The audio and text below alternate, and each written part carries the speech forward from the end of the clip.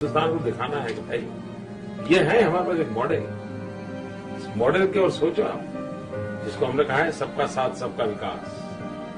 एक ऐसा मॉडल है जिसमें अपीजमेंट की ज़रूरत नहीं है वोट बैंक की ज़रूरत नहीं है, ये चुनावों की चिंता करने की ज़रूरत नहीं है। आप कर सकते हैं। मैं नरेंद्र मोदी को कहूँगी कि मेरे साथ वो एक गाँव में चले, जहाँ बीपीएल की लिस्ट बनी है। और मैं उनको बताऊँगी कि वो लिस्ट कितनी फर्जी है। बिलो पावर्टी लाइन से ऊपर लोग उठ गए हैं और बीपीएल की जगह एपीएल लोग हो गए हैं। ये पूरा का पूरा मामला फर्जी है और ये दिखाने के लिए किया गया है कि गुजरात ने बहुत विकास किया है।